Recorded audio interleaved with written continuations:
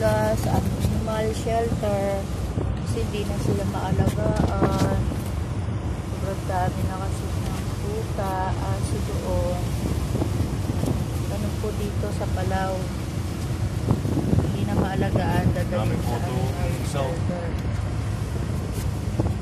Po. Uh,